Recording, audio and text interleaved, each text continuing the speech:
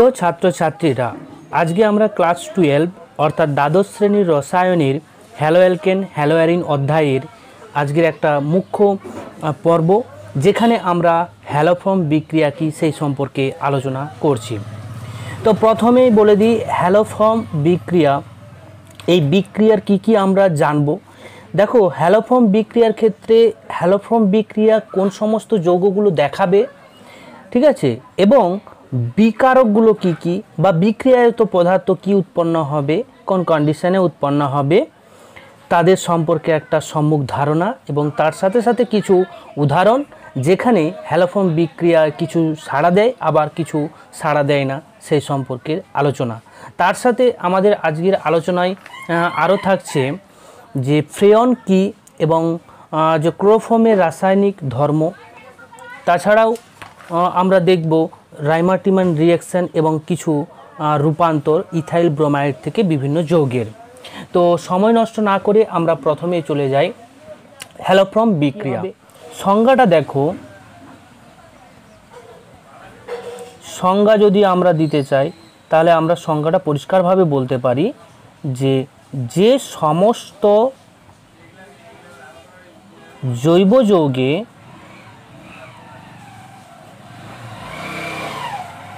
জৈব যৌগের গঠনে, অর্থাৎ তাদের যে কনস্ট্রাকশন গঠন, সেই গঠনের মধ্যেই কিন্তু যদি কিটোমিথাইল গ্রুপ কিটোমিথাইল মূলক কিটোমিথাইল মূলক বলতে CH three C double one ও এই মূলক অবস্থান করলে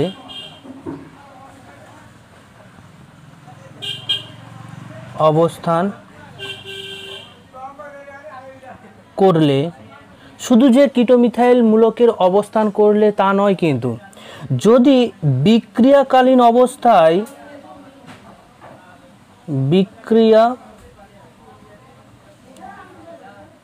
কালীন অবস্থায়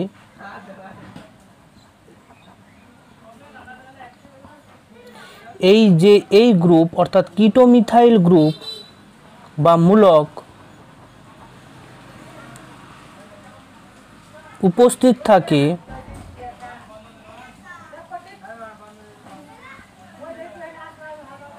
ঠিক আছে?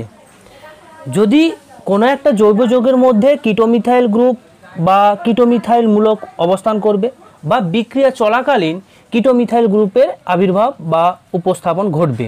তো সেই সমস্ত যৌগগুলোর যৌগগুলোকে যদি আমরা ক্ষার ও হ্যালোজেনের মিশ্রণ সহযোগে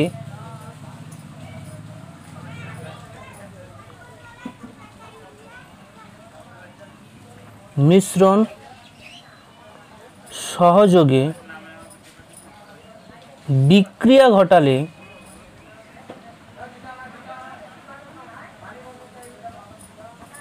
আমরা কি পাবো? ফ্যাটি অ্যাসিডের সোডিয়াম লবণ ফ্যাটি অ্যাসিড যদি আমরা ক্ষার হিসেবে সোডিয়াম হাইড্রোক্সাইড ব্যবহার করি, তখন ফ্যাটি অ্যাসিডের সোডিয়াম লবণ এবং হ্যালোফর্ম পাই। হ্যালোফর্ম বলতে এখানে দেখো আইডোফর্ম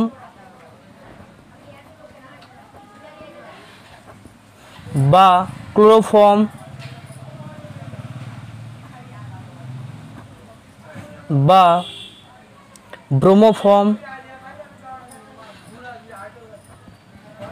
উৎপন্ন হয়। ঠিক আছে? তাহলে সেই বিক্রিয়াকে আমরা বলব হ্যালোফর্ম বিক্রিয়া। এবার যদি সাংঘাতিকভাবে আমরা তাদের রিয়াকশানটা দেখি, আমরা আটটাকে এখানে অ্যালকাইল গ্রুপ নিয়ে নিচ্ছে। তার সাথে কিটোমিথাইল গ্রুপের অবস্থান রয়েছে। এরপর আমরা একে কি করব? আয়োডিন বা হ্যালোজেনের উপস্থিতিতে এনএওইচের মাধ্যমে, অর্থাৎ ক্ষারীয় মাধ্যমে বিক্রিয়া ঘটায় যদি, তাহলে আমরা এখানে পেয়ে যাই ফ্যাটি অ্যাসিডের সোডিয়াম লবণ আর হচ্ছে আইডোফর্ম যেটা হচ্ছে অদক্ষেপ উৎপন্ন হবে। ঠিক আছে? এটা ইয়েলো বর্ণের অধক্ষেপ উৎপন্ন হয় এবং তার সাথে সাথে সোডিয়াম আয়োডাইড আর হচ্ছে জল উৎপন্ন হবে।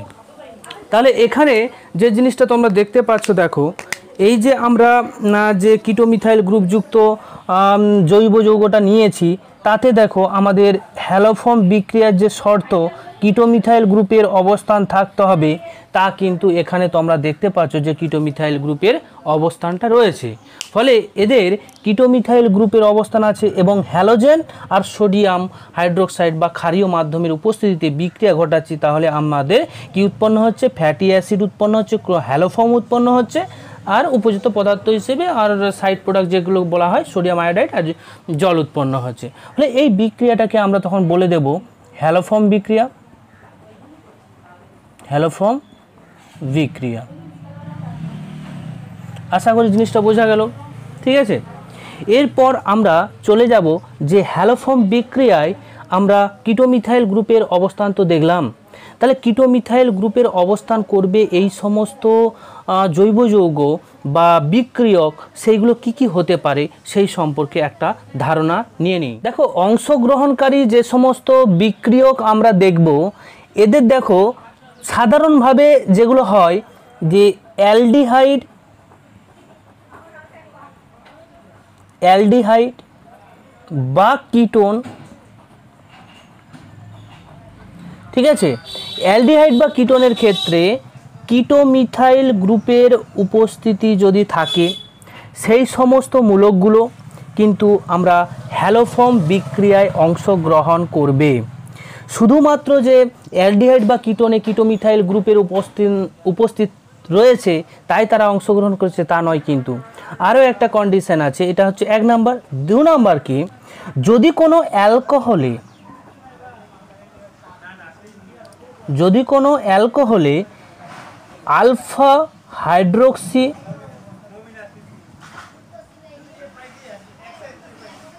alpha hydroxy ethyl মূলক যদি উপস্থিত থাকে অ্যালকোহলের ক্ষেত্রে, ঠিক আছে? আলফা হাইড্রোক্সি মূলক উপস্থিত থাকে যা জারিত হয়ে কিটোমিথাইল গ্রুপে পরিণত হয়।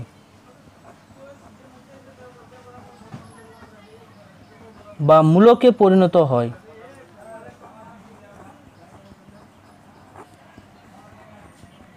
তাদের ক্ষেত্রেও কিন্তু সেই সমস্ত অ্যালকোহলের ক্ষেত্রেও আমরা হ্যালোফর্ম বিক্রিয়ার পজিটিভ টেস্ট পাবো। ঠিক আছে? তো এখানে আলফা হাইড্রোক্সি ইথাইল মূলক বলতে কি বোঝায়? সিএইচ থ্রি সিএইচ ওইচ তারপর এখানে হচ্ছে আরেকটা কোনো গ্রুপ অবস্থান করবে। ঠিক আছে? তো এখানে লক্ষ্য রাখবে, এই যে keto methyl keto alpha hydroxy ethyl মূলক এই আলফা হাইড্রোক্সি ইথাইল মূলকের যে কার্বনটা আছে, এই কার্বনের কথা বলছি। এই কার্বনটা কিন্তু ডাইরেক্টলি হাইড্রোজেন বা কার্বনের সঙ্গে যুক্ত থাকতে হবে। এটা হচ্ছে কন্ডিশন মেন কন্ডিশন যদি হাইড্রোজেন বা কার্বনের সাথে যুক্ত না থাকে, সেই ক্ষেত্রে এই আলফা হাইড্রোক্সি ইথাইল মূলক উপস্থিত থাকলেও হ্যালোফর্ম বিক্রিয়ায় অংশগ্রহণ করবে না সেই সমস্ত অ্যালকোহলগুলো বোঝা গেল? এরপর আমরা একটা সুনির্দিষ্ট উদাহরণ নিয়ে আমরা আলোচনা করি যে তাদের মেকানিজমটা কি হবে বা বিক্রিয়া ক্রিয়া কৌশল কীভাবে কাজ করে। তো প্রথমেই আমরা নিয়ে নিচ্ছি আমাদের পরিচিত ইথানল। তো ইথানল তাকে আমরা যদি আয়োডোফর্ম বিক্রিয়া ঘটাই আয়োডিন আর এনএওইচের উপস্থিতিতে, ঠিক আছে?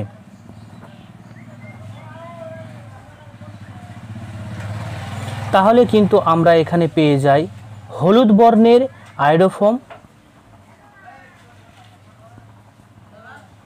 অধক্ষেপ। ঠিক আছে?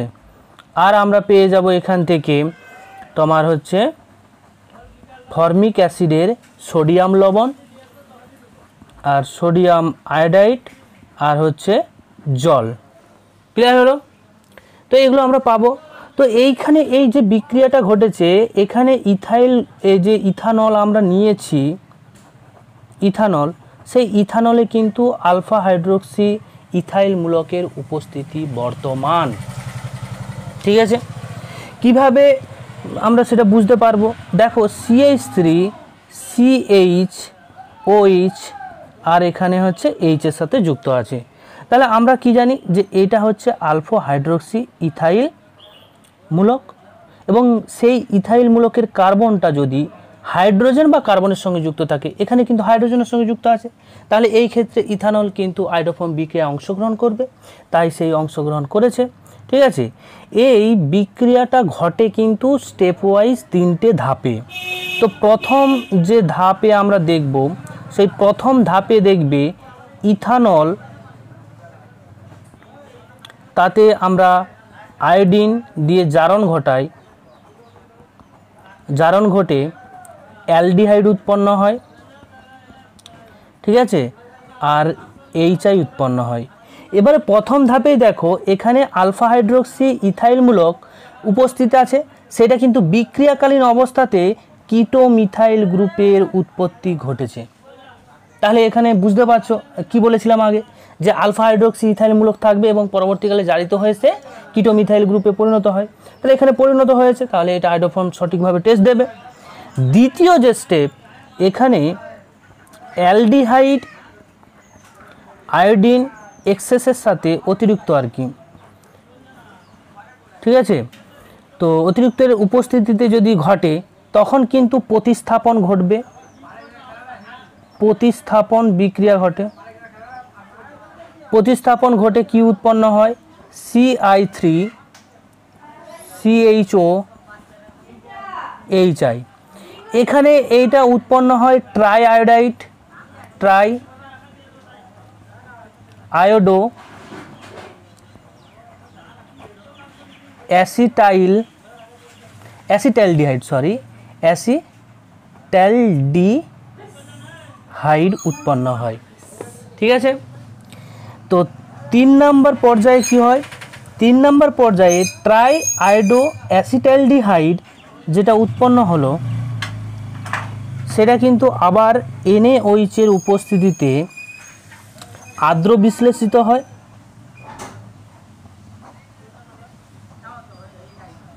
আর্দ্র বিশ্লেষণ ঘটবে। আর্দ্র বিশ্লেষণ ঘটে এখানে কিন্তু ক্লোরোফর্ম পাই আমরা। আর কি পাই? ফর্মিক অ্যাসিড বা ফ্যাটি অ্যাসিডের সোডিয়াম লবণ পেয়ে গেলাম। এটাই হচ্ছে আমাদের আইডোফর্ম। ঠিক আছে? তো এইভাবেই কিন্তু পুরো প্রক্রিয়াটা ঘটবে আইডোফর্ম প্রক্রিয়া। ক্লিয়ার?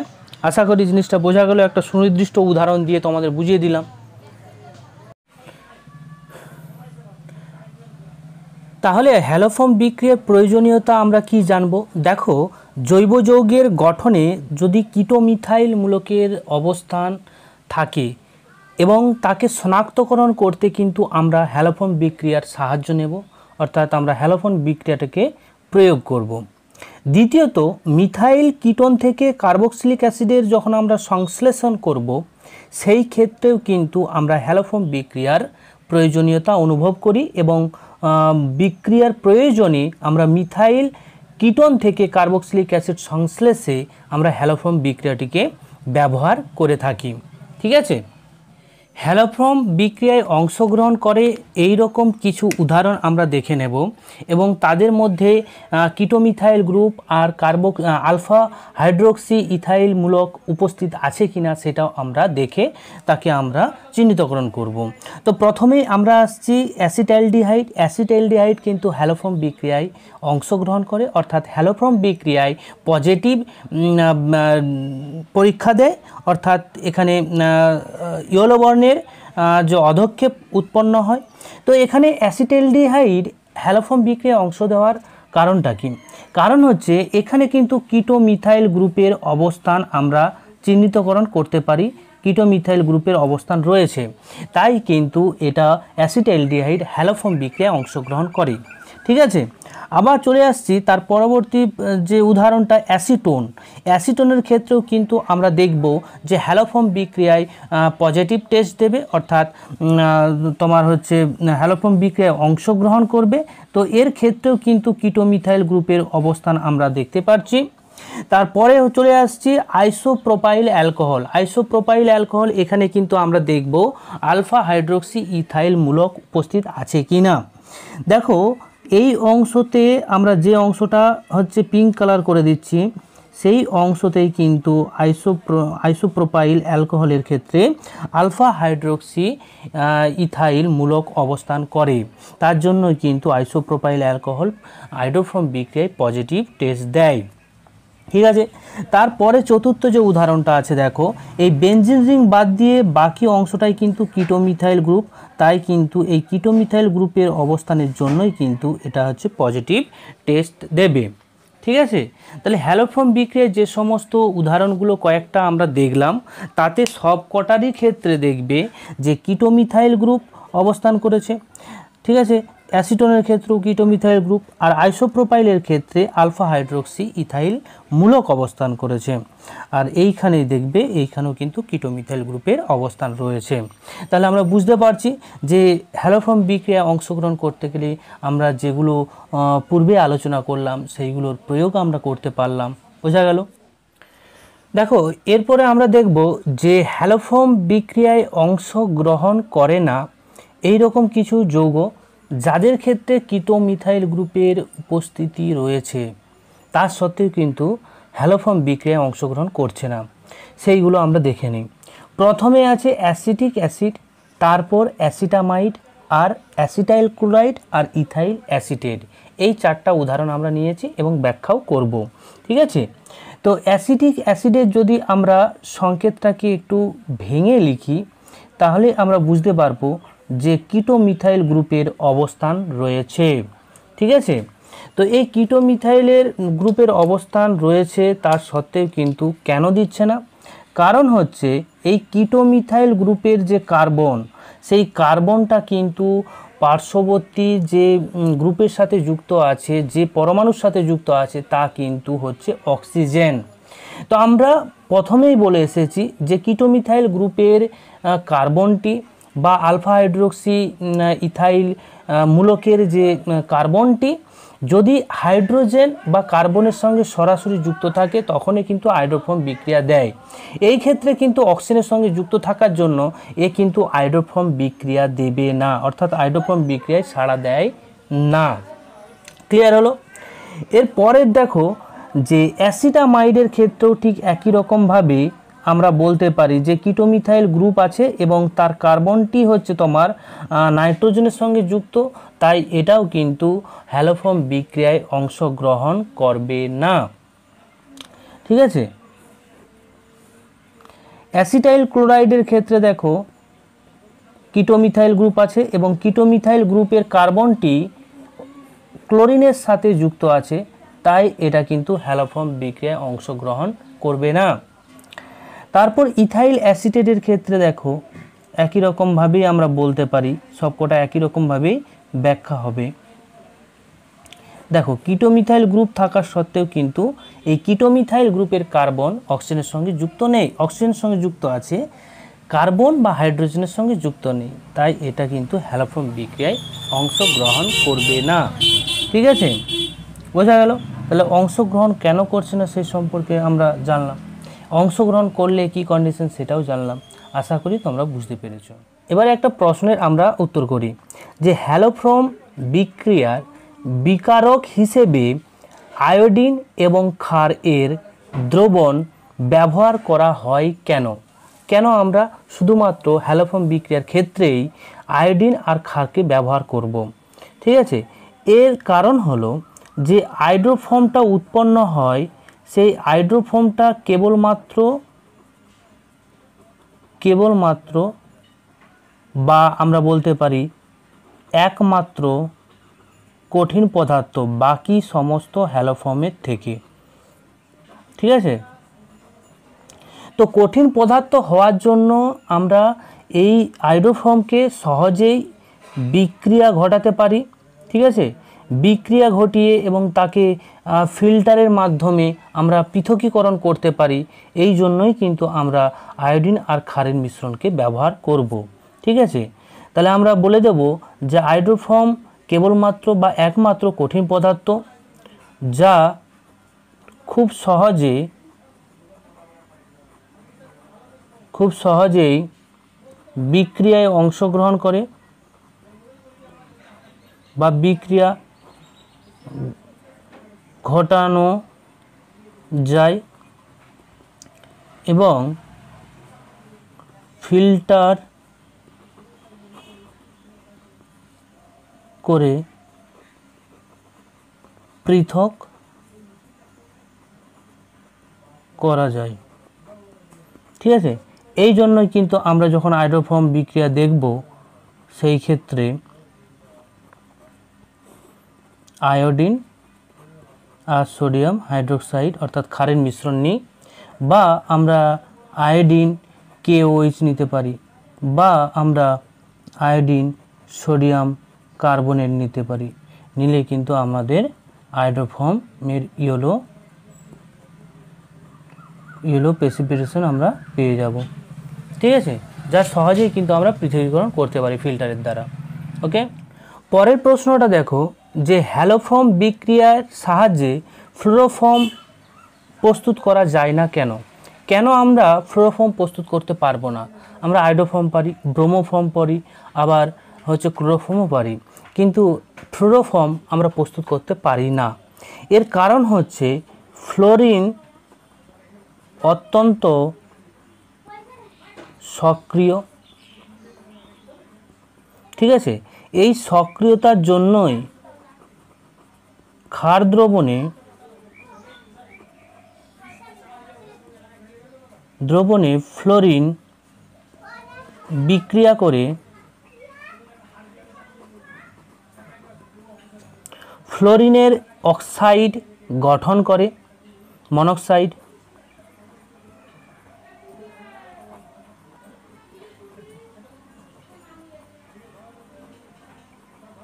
ফ্লোরিন মনোক্সাইড গঠন করে, ঠিক আছে? তো ফ্লোরিন মনোক্সাইড যদি গঠন করে, তখন কিন্তু আমরা ফ্লোফর্ম আর পাবো না, ঠিক আছে? বোঝা গেল? তাহলে কী জন্য আমরা পাচ্ছি না ফ্লোরোফর্ম কারণ হচ্ছে ফ্লোরিন অত্যন্ত সক্রিয় এবং ক্ষারের উপস্থিতিতে, ক্ষারের সাথে বিক্রিয়া করে ফ্লোরিন, ফ্লোরিনের যে মনোক্সাইড উৎপন্ন করে, তার জন্য আমরা ফ্লোরোফর্ম প্রস্তুত করতে পারি না। ক্লিয়ার হলো? ফ্রিয়ন কি? এটা কিন্তু অনেক সময় পরীক্ষায় দেয়, এক নম্বরের এমসিকিউ দেয়, আবার এক নম্বরে শর্ট কোশ্চেনও দিয়ে থাকে। ফ্রিয়ন আসলে হলো টেট্রা হ্যালোজেনের যৌগ। টেট্রা হ্যালোজেন যৌগ। ঠিক আছে? তো টেট্রা হ্যালোজেন যৌগ বলতে কীরকম হবে তার সংকেত দেখো, এখানে দুটো ক্লোরিন হলে কার্বনের তো যোজ্যতা চার, তাহলে দুটো ক্লোরিনের সঙ্গে যুক্ত আর দুটো ফ্লোরিনের সঙ্গে যুক্ত। অর্থাৎ এখানে হ্যালোজেন চারটা আছে, দু রকমের হ্যালোজেন চারটা রয়েছে, ঠিক আছে? তখন একে আমরা বলব ফ্রেয়ন ঠিক আছে? এর ব্যবহারটা কোথায় হয়? এর ব্যবহারটা কিন্তু রেফ্রিজারেশনের ক্ষেত্রে ব্যবহার হয়। রেফ্রিজারেশনের ক্ষেত্রে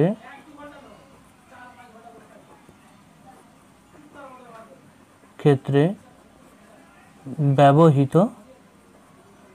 হয়ে থাকে। ক্লিয়ার এটা এক নম্বরে থাকে, তাই বলে দিলাম। ওকে তোমাদের পূর্বের যে ভিডিওগুলো দেখার যদি সমস্যা হয়, তোমরা ডিসক্রিপশন বক্সে গিয়ে প্লেলিস্টে দেখবে।